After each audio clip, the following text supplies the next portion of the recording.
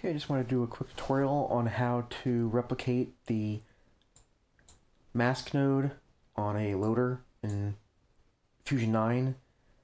It's one of the nice features of Fusion 9 is that you can mask your input right directly from the loader, but in the new Resolve 15 Fusion, uh, that capability isn't available in the media in, which is how you bring footage into the Fusion and Resolve 15 but I found a workaround which gives basically the same functionality, uh, just with a few extra steps.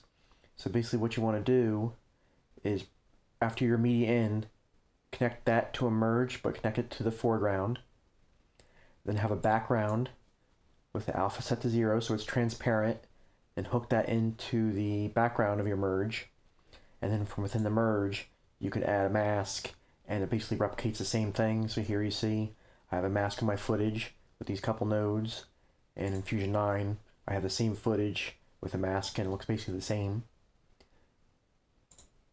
So it's a bit of a workaround, there's a few extra steps involved, but uh, isn't too hard, and you can actually then probably create, uh, combine this into a macro, and then if you need to use it a lot, and if you use masks on your footage a lot, then you can just create a macro and call it, say, loader, and uh, replicate this uh, workflow here to be able to mask your footage.